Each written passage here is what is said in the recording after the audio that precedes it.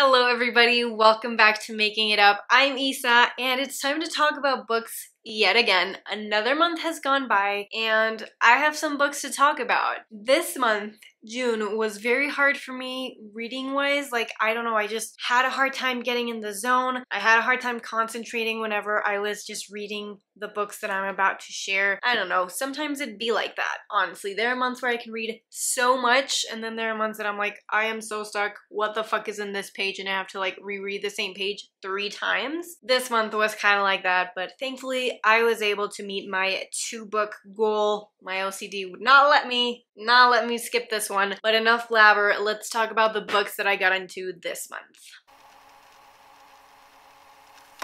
Okay guys, the first book is The Marriage Plot by Jeffrey. I don't know how to say this last name, so I'm just gonna leave it here. He is the author of The Virgin Suicides and Middlesex, He's a well-known author. I had never read anything by him. And I saw this book in the bookshelf at my house and I don't know, maybe it was my sister's or something, but it's been read. It's been a little battered and bruised, honestly. I didn't do this. I take really good care of my books, but it intrigued me, okay? I read the back and I was like, it's intriguing. Also, I really like the front, you know, the cover. I always get sucked in with the covers. I'm not sure how to feel about this book. This book is just basically like a love triangle between one girl and two guys in college and like life after college. Some parts of the story I liked. So basically, Madeline, who is like the main character, she's the girl. You get chapters dedicated to her, then you get a chapter dedicated to Mitchell, who is one of the guys, and then you get another chapter dedicated to the other guy, which I forgot the name of already. Dude, I forgot the name of the other dude.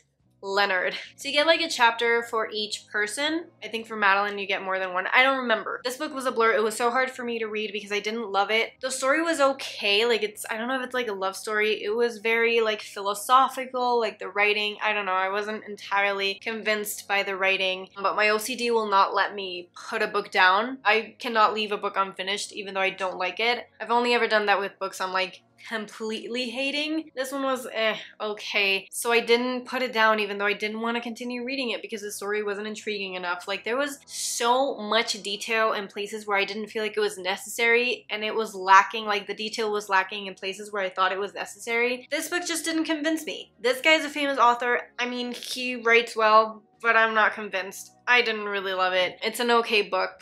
I probably give it like a 3.5 out of 5, 3 out of 5. Again, not entirely sure how I feel about this, but it's not my favorite. Let's just leave it at that.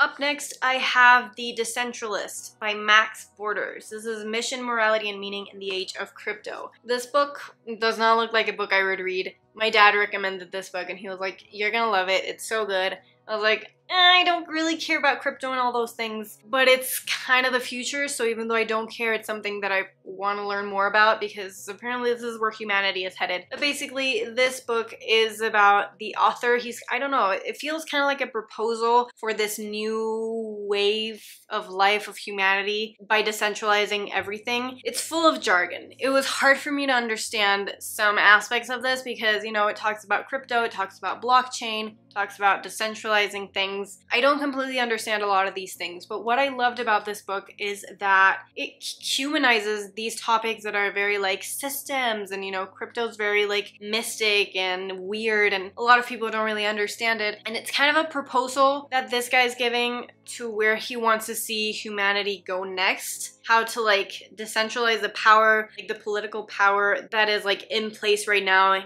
kind of how to kill that to get better results. And his proposal is more about like collaboration as opposed to coercion. This is where he would like to see humanity headed. And I think it's a great proposal. You know, I don't agree with every single thing that he talks about here, but what I do agree with is that by decentralizing everything, you get the power to choose and you get the power to change rules because I feel like all the systems that we live in now, they've been used for ages, you know, and the world is rapidly changing, technology is rapidly changing, but our systems haven't really changed. So I think his proposal is a good one. It's hard to explain. I think it's a good book. It's not super long. It's less than 200 pages, super easy to read. I read it in like a week. And even though there's a lot I don't understand, and I don't really know if I explained it well enough to you guys, I think it's it's an important read. Probably give this book like a 4 out of 5 because it really surprised me. And I think if you want to learn more about decentralization or, you know, you just want to learn more about alternatives to what we currently have in the world and society, then this is a good one. This is a good read. Surprising, but good.